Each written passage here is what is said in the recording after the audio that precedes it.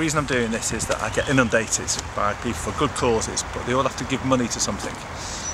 And didn't want that to happen. I was looking for a cause that was free, didn't cost a bean, cost diddly squat, was zilch.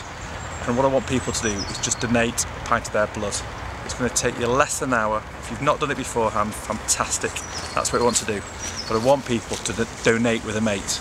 And the goal is to get 1,001 pints in 40 days. So we are a week into it.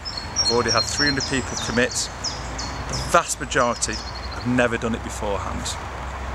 I did it last week. I'm ashamed to say it's six, seven years since I've done it.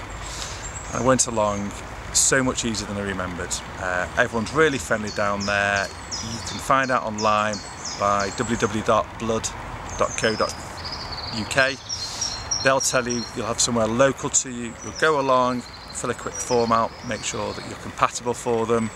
Um, very simple procedure, a tiny little scratch. You sit down, you have a wonderful cup of tea, some biscuits afterwards, but it's hands-on and you feel like you've actually done something. So you provide the blood and I will do the sweat and tears because I'm planning to run a marathon in the Lake District in just three weeks time.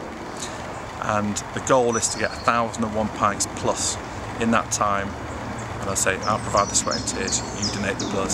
Do it with a mate, share a pint, donate with a mate.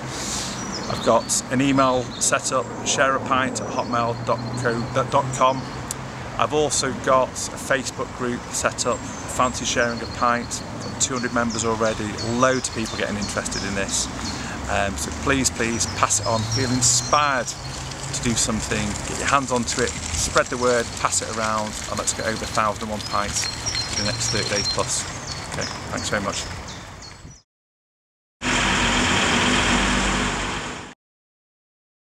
Uh, I became a donor in 1970. It's something I'm very, very passionate about. It's something I think that people should try and do because the local community needs donors. The transfusion service as a whole is desperately short of donors. And I'm making this appeal, please, come along. Even if one person comes along, please become a donor. Help save more lives.